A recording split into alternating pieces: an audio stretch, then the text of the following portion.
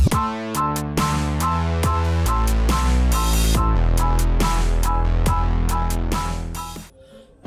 teman-teman, jadi pada video kali ini kita bakal uh, unboxing ini review Tamiya atau Mini 4WD ini mereknya Auda. Jadi tulisannya di sini ada mobil 4WD juara pertandingan. Waduh, pertandingan yang mana cuman nggak tahu. Terus bawahnya ada 1 per 32 mobil 4WD model gerak 4 roda. Jadi dia uh, depan belakang itu rodanya bisa muter semua ya. Hemat baterai dinamo super cepat.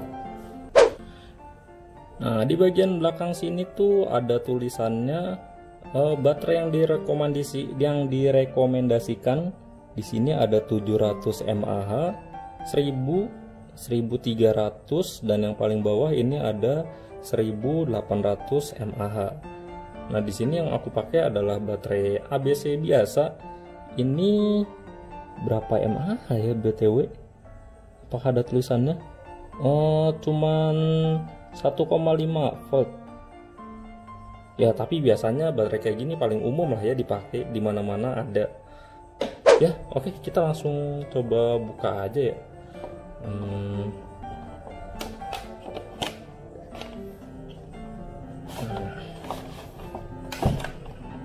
Oke, jadi isinya kayak gini. Nah, ini dia mobilnya. Waduh. Jadi kalau di sini kita lihat bawahnya tuh uh, sasisnya warna merah rada transparan gitu. Jadi kelihatan di bagian dalamnya ini dinamonya ada di tengah. Terus bannya apa ya kayak karet-karet gitu. Aku nggak paham nih namanya apa. Nah terus di bagian ini ujung-ujungnya ada rollernya dua kayak gini atas bawah. Cuman rada seret ya.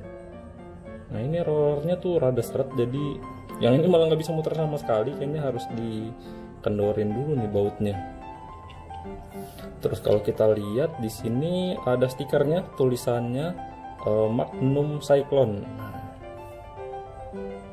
Cuman di sini kenapa entah kenapa stikernya kayak nggak pas gitu ya. Jadi di sini tuh kayak masang stikernya kak.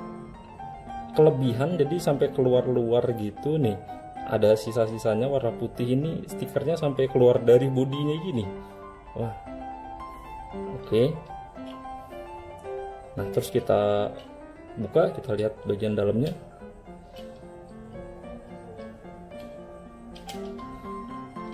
Nah, jadi bagian dalamnya kayak gini. Ini dinamonya tuh ada di tengah. Terus dia penggeraknya tuh depan belakang ya.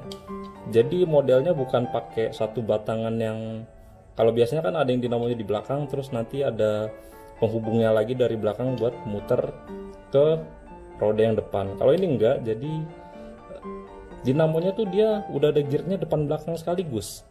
Jadi dia bisa langsung muter roda belakang sama roda depan. Nah terus baterainya nanti di sini kiri kanan ada dua kayak biasa.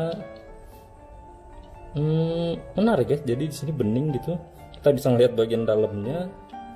Nah ini buat masukin baterainya kita bisa buka ini nah coba kita masukin baterai ya Oke, di sini aku pakai baterai ABC. Ini nyopot dari remote. tuh. Kita bakal pasang ke dalam sini.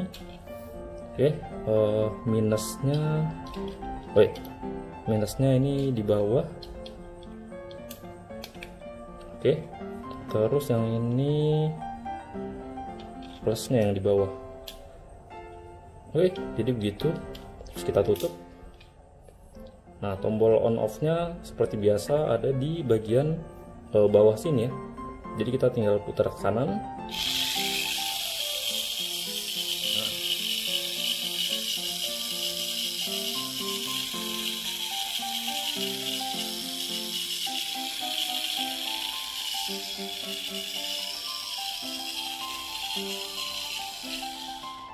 Nah, jadi begitu suaranya ini langsung muter depan belakang sekaligus Nah terus eh, di sini kalau misal kita mau bikin jadi dua WD juga bisa. Jadi dulu kata temenku tuh kalau misal eh, Tamiya yang 4 WD itu mendingan dilepas aja ininya yang buat penghubung ke depannya. Nah cara lepasnya itu kita bisa lepasin pengait yang di bagian bawahnya sini. Nah ini kita tekan ke dalam. Nah sampai bunyi klek gitu. Nanti bagian ininya tuh bisa dibuka. Kita tarik aja ke atas. Nah kayak gini. Nah ini tinggal kita ambil aja nih gear yang warna merah. Oke jadi nanti dia eh, penggeraknya tuh bakal cuma belakang aja. Yang depan nggak ikut muter. Nah, kayak gitu. Jadi ini gampang banget ya buat dilepas pasang kalau misal mau buat ngelepas dinamo yang bagian belakangnya kita tinggal lepasin pengait yang bagian belakangnya. Jadi kayak gitu. Nah ini kita bisa tutup lagi.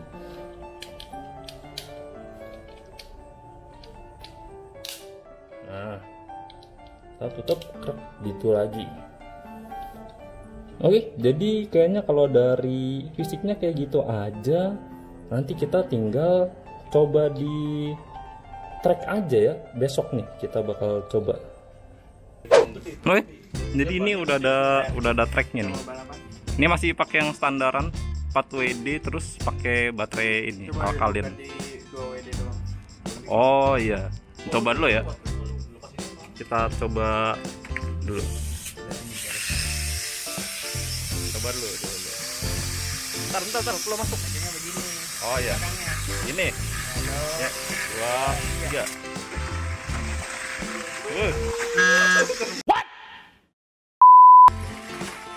kenceng tapi kurang stabil ya kalau kayak gitu nah, jadi setiap tanjakan kayak gitu mental ya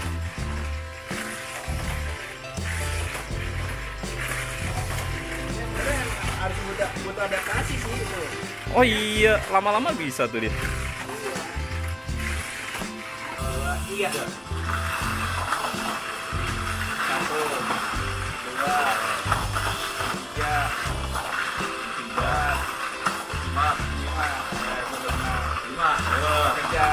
Iya. Lurus kenceng. Pas belok mulai pelan lagi ya. Oh iya nih. Oke guys, jadi Lucy mau coba apa nih gitu? Oh kita mau coba lepasin ini yang bagian depannya biar nggak terlalu lebar. Kan udah. Udah nih harusnya. Udah kayak gitu dong gue rada ngeri ininya nggak dalam tadi. Udah coba coba tanpa bodi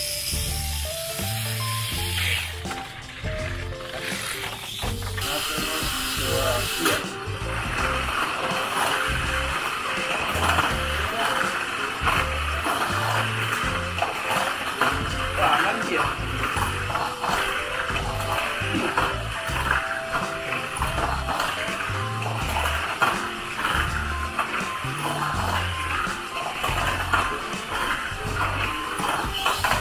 Udah